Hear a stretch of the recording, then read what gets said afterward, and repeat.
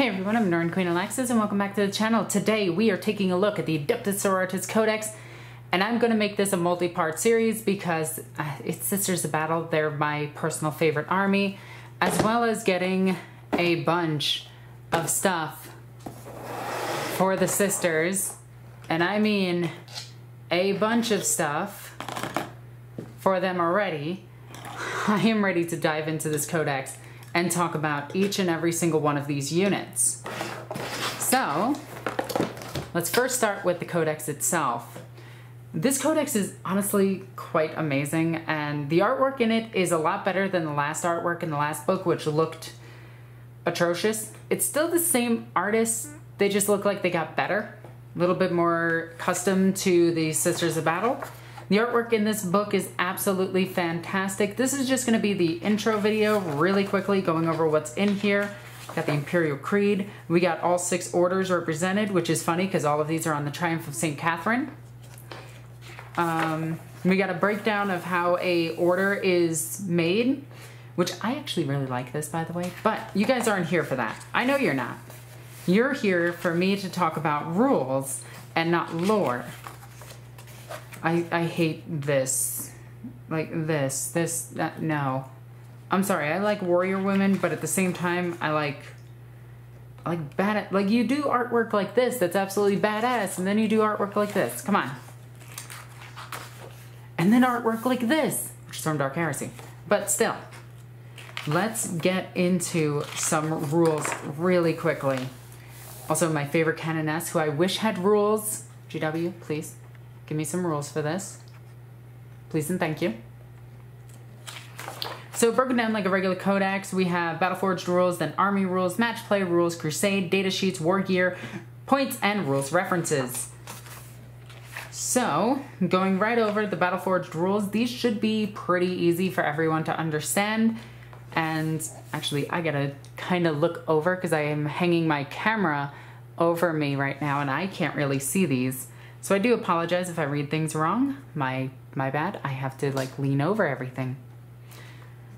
So we have Adeptus unit, excluding Sanctified and Outcast units. So this is going to be the only mention of Outcast units, and this is just going to be um, uh, Stern, who's in this codex, by the way, as an HQ choice, and her boy toy.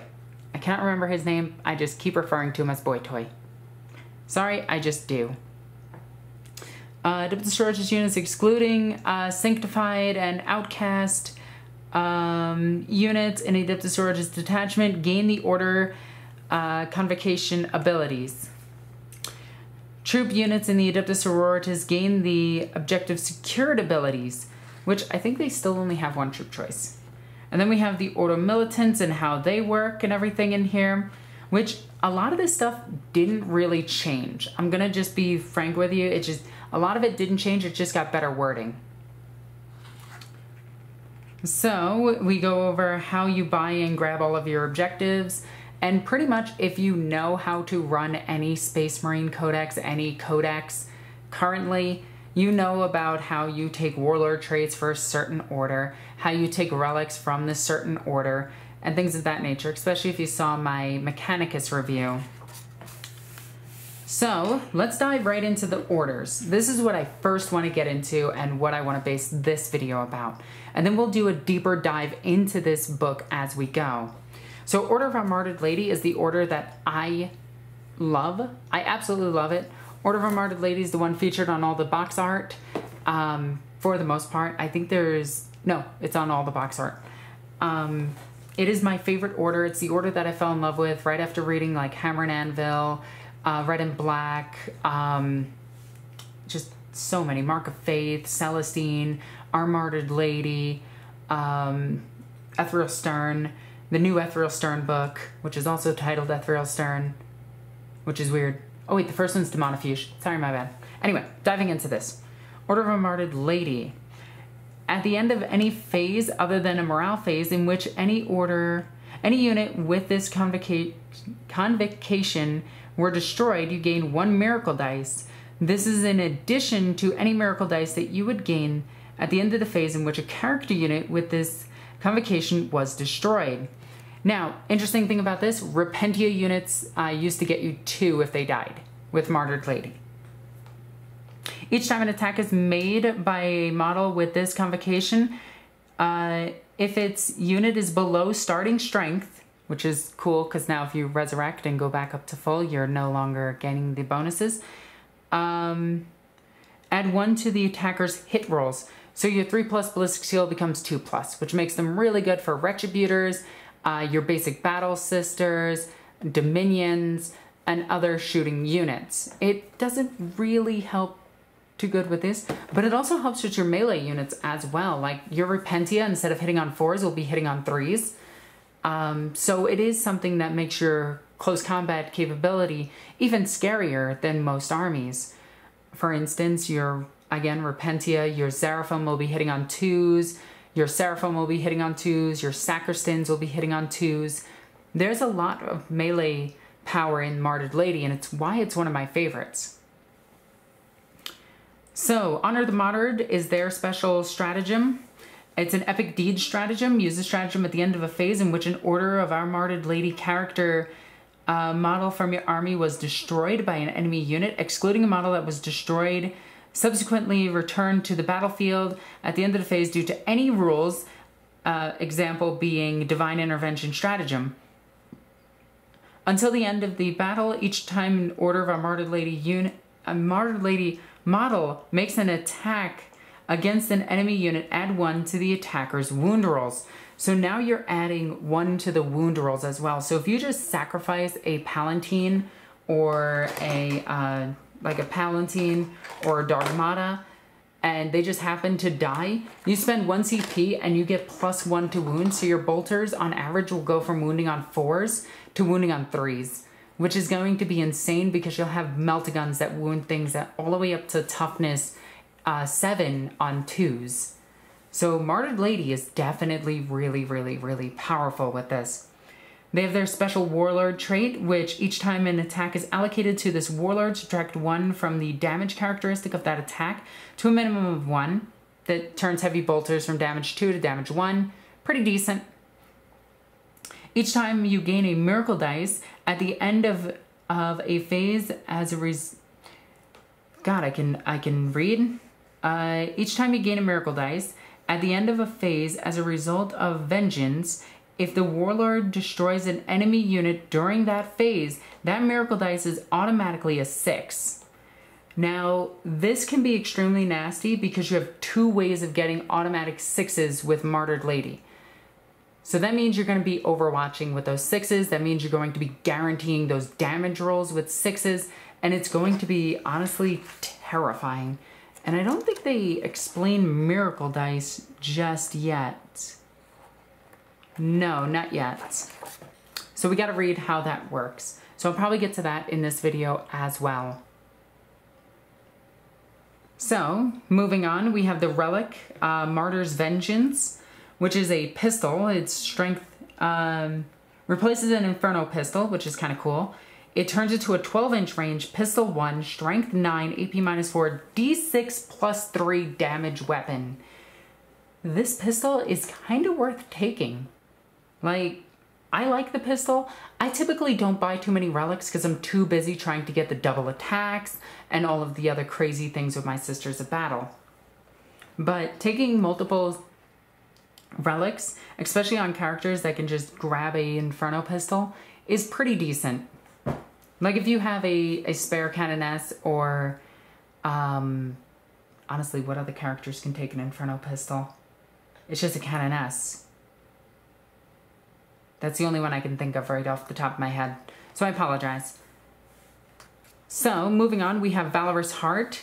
Now the big three that always were the top three Sister Battle armies, in my opinion. The first one was Bloody Rose, the second one was Ebon Chalice, and the third one was Martyred Lady. I think all of them are great. Um, or was it this one? I know Martyred Lady was the one that was the weaker ones compared to the other ones, but all of them are good. Let's just put this out there. Every single one of these is good. There is going to be no bad ones that we talk about. So, Valorous Heart. Each time a model with this conviction would lose a wound as a result of a mortal wound, roll a d6, 5 plus feel no pain against it. Uh, each time an attack is allocated to a model with this conviction, if the attack uh, has an armor penetration characteristic of 1 or minus 2, the armor penetration characteristic is reduced by 1. Now, this used to be the one that you always went to for the AP minus 2 does nothing, but now, and I want to point this out before we go, let's go over to the Imagifier because this was the strategy. Where the hell are you?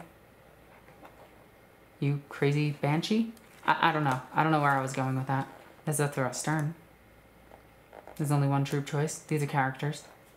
Uh, wait, isn't that the Imagifier? Yeah, there it is. The Imagifier, uh, tell the faithful when a friendly order unit, order core unit is within six inches of this model, you can reroll the advance and charge rolls for that unit. Uh, Stoic, uh, when a friendly order core unit is within six inches, notice that it doesn't say infantry because um, the, where is it? The Palatines or the Paragon war suits are actually vehicles, but they have the order keyword and they are core. So they got rid of effects affecting vehicles.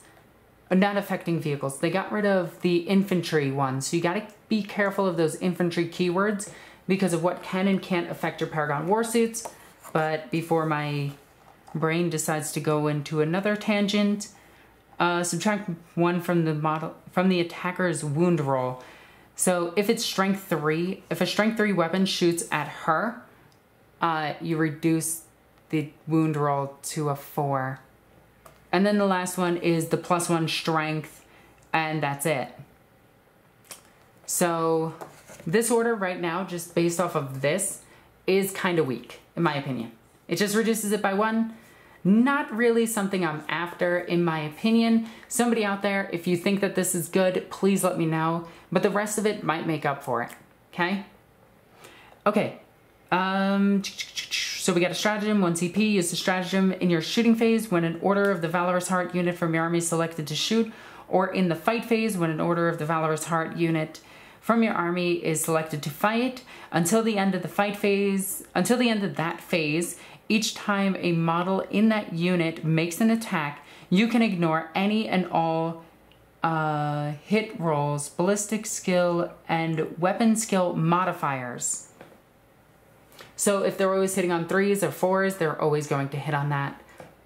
Uh, again, personally, I think this is a, just a bit weak considering Martyred Lady, if you lose one model, you get plus one, which would negate that anyway. So I'm not really seeing too much impressive on Valorous Heart yet. But again, there might be strategies out there, and if you know them, comment in the comment section down below. Next, we have your Warlord traits. Each time, um, which is impervious to pain, I actually really like this one. Each time this warlord performs an act of faith, it regains one lost wound. That's really good, considering you use one every turn. So you regain every a point every turn. Uh, each time a each time this warlord would lose a wound, roll a d6. On a five plus, the wound is not lost. I think this is extremely good. This is what makes up for Valorous Heart, and you want a close combat canoness to go in. And then you got the Relic, the Casket of Peanuts. Um, I know it says something different, but that's what I read it as. Um, Valorous Heart models only. The bearer has the following ability, Casket of Peanuts Aura. Uh, while the enemy unit is within 3 inches of the bearer, subtract 1 from its toughness characteristic of that model in that enemy unit. Um, if it is chaos, subtract one from the strength characteristic as well. Hey, Death Guard, we do that thing that you do, just not as good. Overall, I gotta say Martyred Lady is looking better than Valorous Heart. But again, there might be something that I'm missing for Valorous Heart. I just don't think it's that good right now. Next, we have Bloody Rose, and they have Quick to Anger. Bloody Rose being one of the best from last edition, and honestly still one of the best in my opinion. Like, if I didn't have everything painted up as Martyred Lady, I would be running Bloody Rose because it is my playstyle a bit more. So, each time a unit with this conviction fights, if it made a charge move, was charged, or performed a heroic intervention this turn, then a unit, then until that fight is resolved, add one to the attacker's characteristics of models in that unit. So we gain the Space Marine ability, which is better because one, we're cuter, two, we're hotter, three, we're goth chicks, which makes everything better. Four, we're cheaper than your Space Marines and just better in every way. Those are jokes. That that's a joke. Don't don't get hurt. Anyway, each time a model in, with this conviction makes a melee attack, if it if that model made a charge move, was charged, performed a heroic intervention this turn, improve the armor penetration characteristic of that attack by one. That's just flat. So your eviscerators, AP minus three, AP minus four. Your power swords, AP minus four. Your halberds and uh, maces are going up like crazy. You get the permanent ability of freaking assault doctrine just as a universal rule across the army. This is absolutely 100% amazing. Oh yeah, and before we continue, I do have to tell you guys that this is sponsored content. Games Workshop did actually send me these books. I have to make that clear. I am sponsored by Games Workshop. Anyway, change in advertising things, I have to state it. I remembered because I looked over at my notes on the side. So, tear them down. 1 CP. Use the stratagem in the fight phase when an order of a bloody order of the Bloody Rose unit from your armies is selected to fight. Until the end of that phase, each time a model in that unit makes a melee attack, an unmodified hit roll of a 6 automatically wounds the target. That is amazing because that gets past your freaking. Um, you don't have to use a miracle dice, but you can use your six miracle dice, like your six that you rolled earlier in the game, miracle dice, to guarantee a wound. That's phenomenal. Like 100% amazing ability right there. So, Martyred uh, Bloody Rose, best so far. Uh, Warlord, Bra Blazing Ire.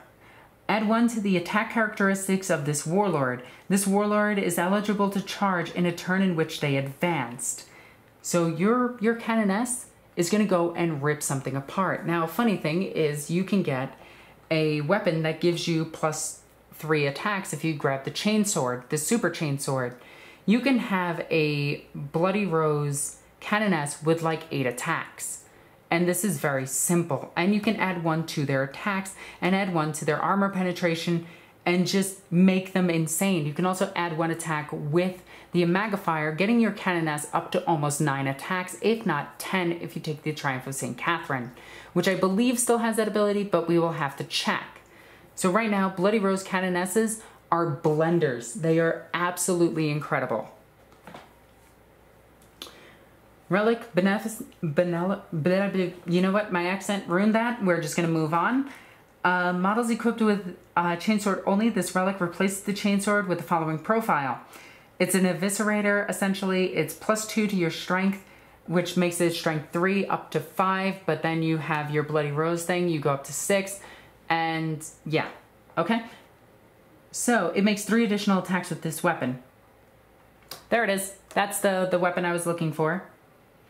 If there are six or more enemy models within three inches of the bearer, when selected to fight, make D3 plus three additional attacks with this weapon instead. So let's get this straight. That's six plus four base gives you 10, plus one for charging, plus one for Imagifier. Uh, if the Cath- if the Triumph of St. Catherine adds one attack or the Preacher adds one attack to you, you're looking at about 13 attacks with a Canoness with an AP minus three chainsword at strength six because you're going to be bumping up your strength somehow. I think we said the Imagifier can do that. Um, the strength. Yep, the Imagifier can do that. I just wanted to make sure that. And let me just make sure that I'm correct on the Triumph of St. Catherine. Because I would hate to tell you all of this and then just be completely wrong. And let me read the missionary while we're at it. Uh, they have war hymns now, so we'll have to read war hymns, unfortunately, to get that. But the Triumph of St. Catherine is right here. So, oh geez. Um, add one to the attack rolls made. Oh, it just adds one. I always get this wrong because I'm so used to the original one. So that is my bad. Okay, so moving on from Bloody Rose, which I rate as a 10 out of 10, it's it's perfect in every way. This is the order to run, like right now. My favorite order, Martyred Lady, amazing. I absolutely love it. A lot of synergy, a lot of shooting. This is the army that you want to do a lot of shooting with and take a odd number of squads with, like retributors with more than five bodies, so you can take away a wound and still be fully efficient at your shooting.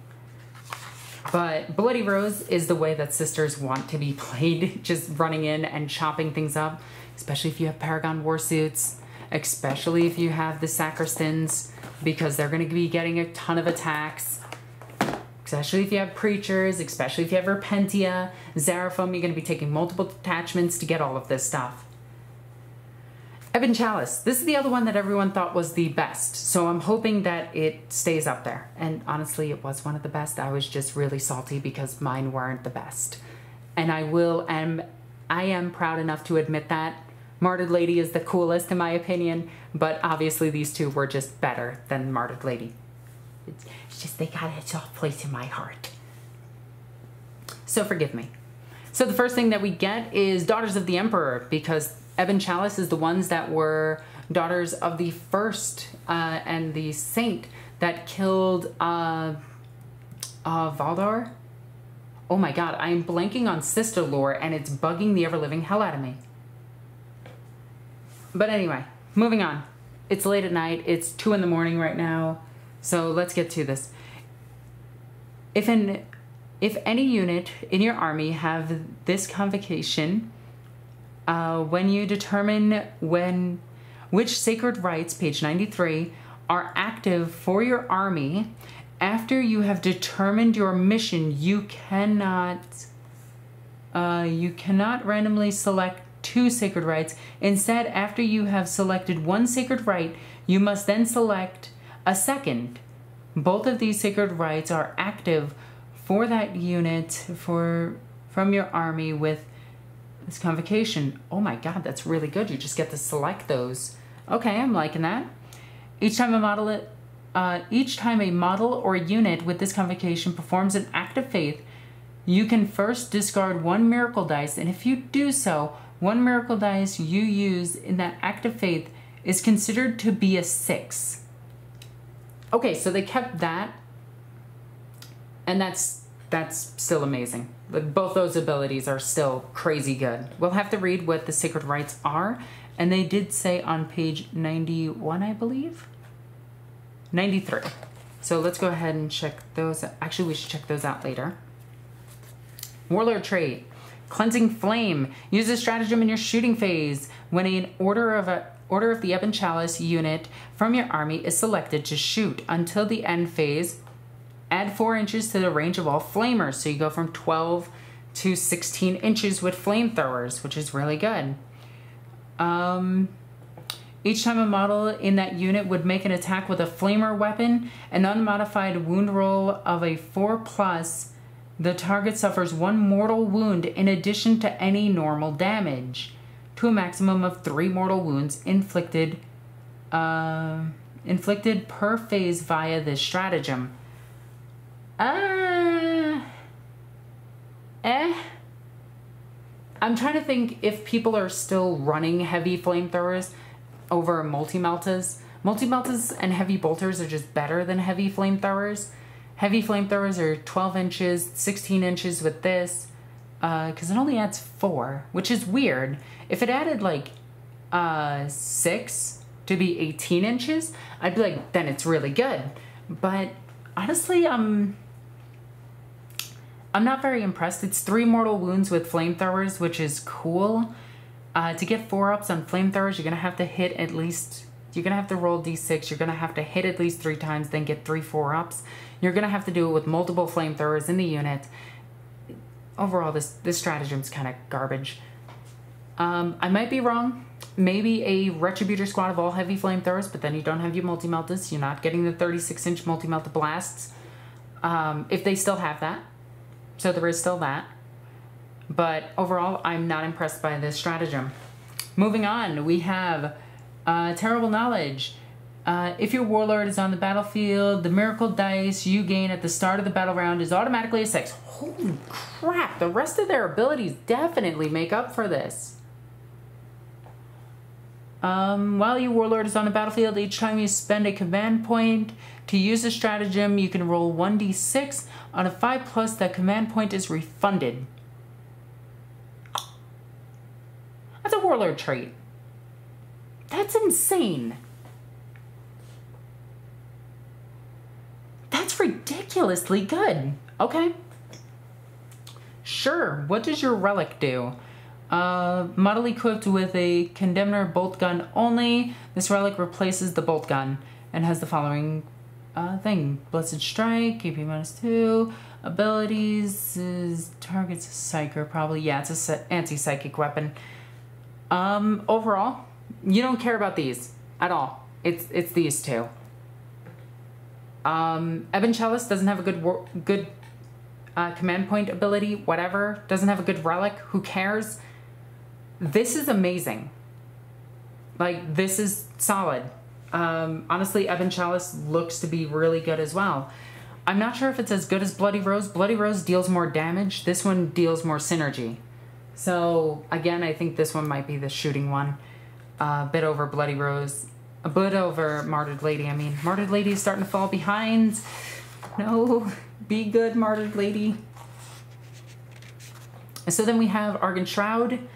Argent Shroud has as a uh, deeds, not words. Uh, each time a model with this conviction conviction makes a normal move or advance in your movement phase that uh, until the end of your shooting phase, it counts as having remained stationary. We went over the FAQ for remaining stationary.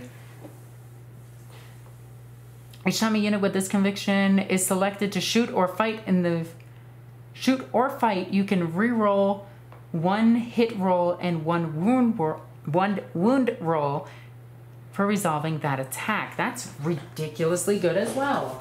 So we're just seeing really good abilities for these sisters. Sorry, I had to walk away to grab a drink really quickly. Okay, so getting back to it. So that one's really good if you want to run without support, like a Palatine, a Canoness nearby, and you want to run Retributors. Um, that's how I see this being rolled. Or you just put like a multi-melta in a five-woman squad and you just keep using it on the multi-melta. I think that's really good. Uh, use the stratagem in any phase in which Order of our Order of the Argent Shroud model from your army would lose a wound as a result of a mortal wound. Until the end of that phase, each time that model or any model uh, in the unit would lose a wound as a result of a mortal wound, roll d6 on a 4 plus, it's not lost. Now, the cool thing is, it's not a psychic power one. So if you're fighting Drukhari and they're just mass spamming you with mortal wounds, this is a solid counter to that. Okay. Selfless heroism. Uh, this warlord is enabled to perform a heroic intervention if it is within six inches, horizontal and vertical of five inches. Um, oh, that's actually really good. Each time your warlord makes a heroic intervention, it can move up to six inches. All of the rules for heroic intervention still apply. At the start of your fight phase, if your warlord is within engagement range of an enemy unit, it can fight first in that phase. Uh, overall, that's pretty okay, not great. It's kind of decent. Quicksilver Veil. Uh, quick little lore note. Quicksilver, get it quick. Quicksilver is actually an anti-psychic, anti-demon uh, piece of cloth, essentially, or it's interwoven mesh fibers. It actually acts as armor and is super useful for denying the witch as well as denying demons from even being in reality. Um, Rosalina actually uses Quicksilver in all of her clothing. So, interesting little side note about my Inquisitor. At 3 inches to the bearer's movement characteristic, that's okay. Uh, I'd probably put this on a banner. Uh, each time an attack is made against the bearer, subtract 1 from the attacker's hit rolls. Yeah, I'd definitely put this on a banner. Like, I would put this on somebody that needs to survive, that has an AoE, that's really good for the army. Uh, possibly a preacher, not a preacher, uh, possibly um, the Imagifier herself, to try to survive a little bit better. Then we got Order of the Sacred Rose. Uh, this one's okay. It's not great compared to the other ones. I think it's good. It's just, it's not great. Uh, it doesn't have like really good melee. It doesn't have, it has okay survivability. The best thing it has is the 4 up ignored mortal wounds, which I think is really good. And the remaining stationary is really cool, but overall I think the others do shooting a bit better. And Retributors ignore the moving penalties anyway, so this would only really be good with your tanks. So if you want to do a tank line, this is actually pretty decent. Uh, but overall, I'm not too impressed with Argent Shroud. It's good, but just not as good as Bloody Rose or Ebon Chalice. So, and that was Ebon Chalice, right? It was the one right across from it. I just want to make sure I get that correct. Yeah, Ebon Chalice. Order of the Sacred Rose. Each time a combat attrition test is taken for units, it's automatically passed. Uh, each time you use a miracle dice, when a model or a unit with this conviction performs an act of faith, uh, roll 1d6. On a 4 plus, you gain one miracle dice. Well, that's pretty handy. Just use it and regain it. All right, so they have the Emperor's Judgment, one strat, one command point. Use a stratagem in your shooting phase. Uh, Sacred Rose unit from your army is selected to shoot until the end of that until the end of that phase, each time an attack is made with a ranged weapon by a model in that unit, unmodified hit rolls of six scores, one additional hit. Again, really good with Retributors, really good with Battle Sisters. Um, really good with Dominions as well, but actually there is no buts, that's just good. Okay, I think the other orders do it just as well, but this one is kind of really cool for getting that double hit. Um, so especially if you're spamming multi-meltas that's just really good. And heavy bolters. Ooh, that could be nasty with heavy bolters. Warlord trait, the light of the divine. Once per turn, when your warlord performs an act of faith, um, one miracle dice use in that act of faith is considered to be a six. Ooh.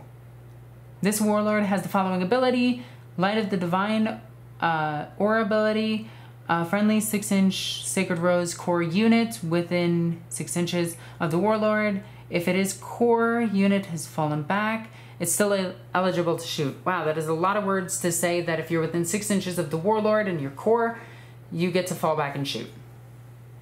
Overall, not great, not bad. Okay. And then we go on to the minor orders, so you can create your own now this, I just want you to pause, take a look at all of this, and create your own. Honestly, a lot of these are super good, so make sure you, you take a look. And that is it for the first part of the orders themselves. I think the winners here are obviously Ebon Chalice and Bloody Rose. I don't know which one I like a bit more. I think Ebon Chalice might be a bit better, depending on what the Sacred Rites actually do. But Bloody Rose is solid. At third place, I I want to put Martyred Lady, but it's just not sitting with me that well. I think um, I think the one of remaining stationary at all times is a bit better, but Blo Martyred Lady is just it's a lot of fun, and it farms command uh, farms Miracle Dice really quickly. So that is going to be it for the first part of this and in the next video we'll go over their stratagems. So thank you for joining me for this uh, quick video that is 30 minutes long. You know, this was supposed to be a five minute video by the way, and I went on giant tirades. So stay tuned for the next one where we go over the stratagems. As always, thank you for joining. If you really like this content, please check out my Patreon. Please and thank you. As always, Norn Queen Alexis. Love you guys. Bye.